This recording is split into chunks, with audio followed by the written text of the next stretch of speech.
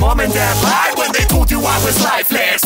What's this? Someone in the main office? Hanging out after hours, how obnoxious. Watching us on his monitor, preposterous. Time to wake the others, now we'll show 'em who